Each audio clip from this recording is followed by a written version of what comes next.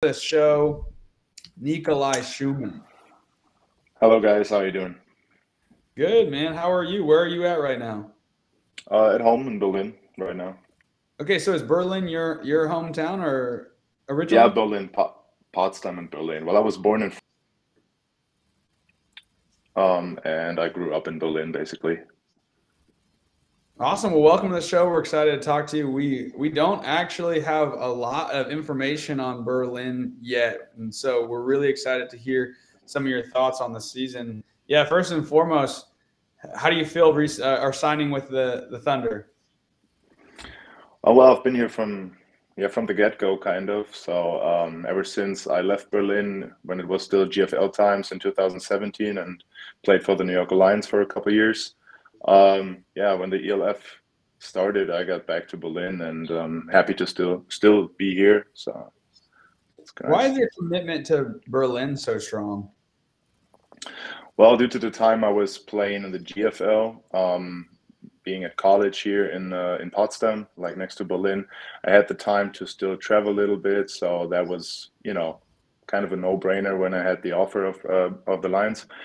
Um, but ever since I'm done with college and I'm working here, um, I'm a sports therapist. I'm in a very recommend, um, highly recommended uh, sports therapy office, physio office, and I have my personal training clients in Berlin and my girlfriend. So, yeah, where I live.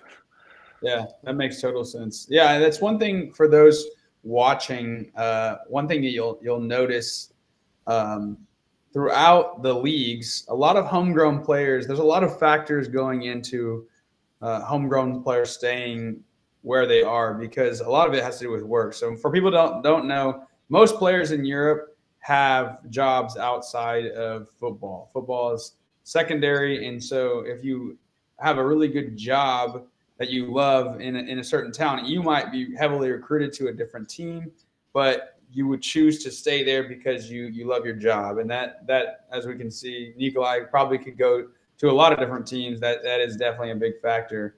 Uh, Nikolai, tell us tell us a little bit about the Berlin Thunder. You know, I feel like the Berlin Thunder have, have such potential, being the capital city and having lots of players to choose from. Why is it that Berlin isn't uh, at the top of the league right now? Yeah, that's a that's a really good question. I mean, Thunder kind of we've been here from you know from day one, but kind of rebuilt in the second year when you know the boss level changed and uh, some people took over work here. Um, and I definitely got to say we've been climbing up the ladder since, not in the big steps that we planned for sure, um, but things are going the right way. One of the biggest issues um, we like you ask why Berlin as a capital is not really getting the potential on the field? That's a good question sometimes. Um, we were lacking a little bit of uh, some parts of our on our offense last season specifically that made it a little you know harder when it uh, got to the point where we had to compete against a really good defense, really good teams, especially because our defense was great the past two years. So we can definitely um, point the finger to them. Um, so we got to step up as offense um, this year to make it, you know, a really good winning record and uh, be on the, you know, on the list for the other teams. So you guys and we we kind of canceled the word potential last year. so you guys made a big change uh, uh, this offseason, bringing in Jacob Sullivan. Have you got to work with him at all uh, with the new quarterback?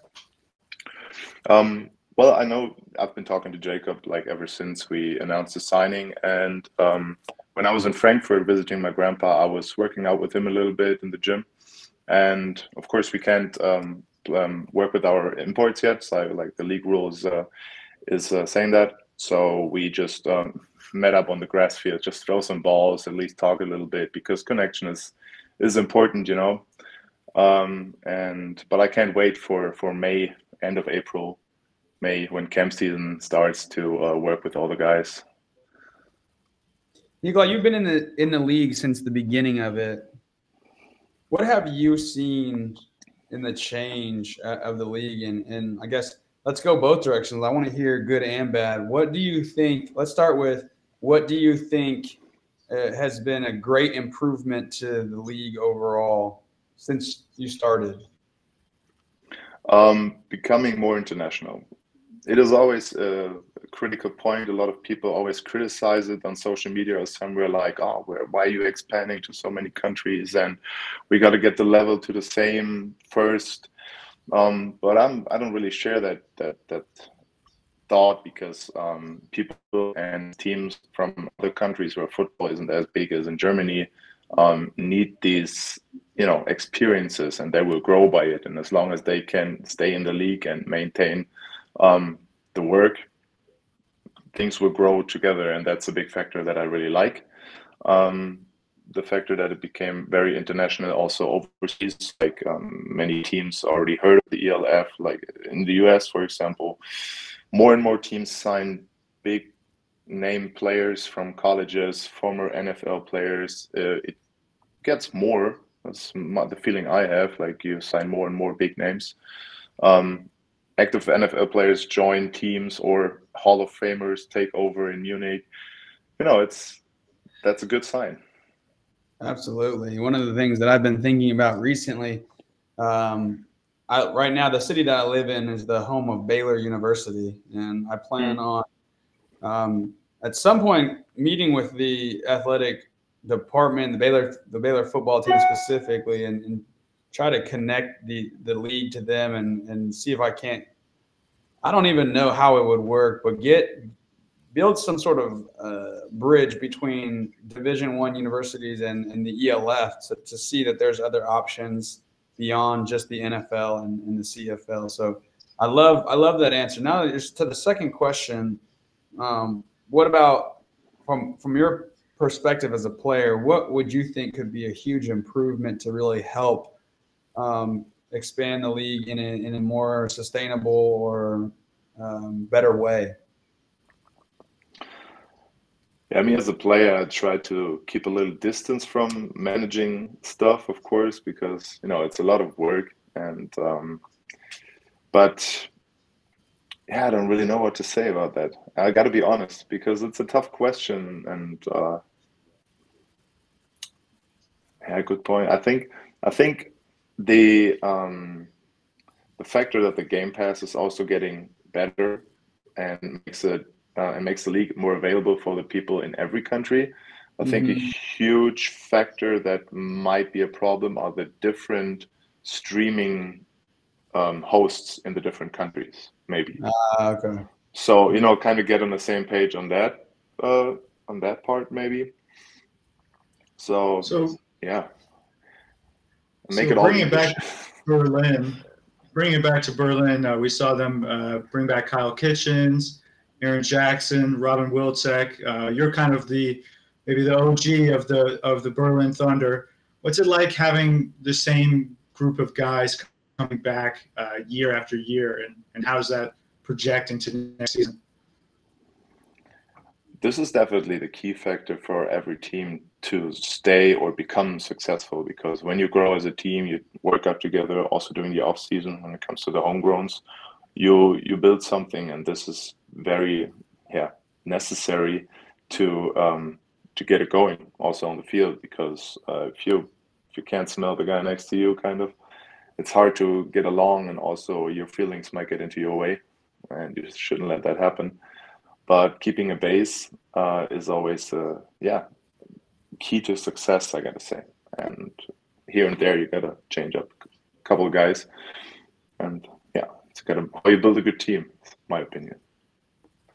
What what can we expect from the berlin thunder this year? Um, well definitely got to be more present when it comes to the offense. Um, we definitely want to make uh, you know, we're going to use our weapons we have on offense. Passing wise, also establish good run game, which has been a big factor for us the past two seasons, um, especially last season. Um, that's why we got kind of yeah easy to read in a couple situations. So that's got to be a key factor for us to be um, bringing a good, um, you know, a wide, specific, how do you say that, uh, variety of plays. Right. Yeah. That's great. Yeah. That's awesome. Well, Nikolai, we appreciate you having on coming onto the show and, and talking with us. Really excited to My see pleasure. what the offense looks like. I know it's going to change a little bit with with Jacob coming in, um, but I love your commitment to Berlin. I love their, your commitment to the growth of the league. So really appreciate you. Thank you very much. We meet we met in Berlin already. It's like seven years ago. Seven years ago. Two thousand.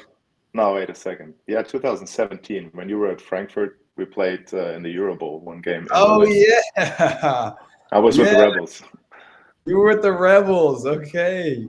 You had a couple of really chippy American players. Yeah, that's true. Those guys, man, they, they, they I just remember them just, I, just, I felt like they just wanted to hurt me. That's it. They didn't care about tackling me. They wanted to hurt me. Berlin football, actually. Yeah. Yeah, yeah man. Uh, well, good luck to you this season. Uh, we'll, Thank we'll you. see you again this year. Thank you very much. My pleasure. Yeah. Thanks for coming on.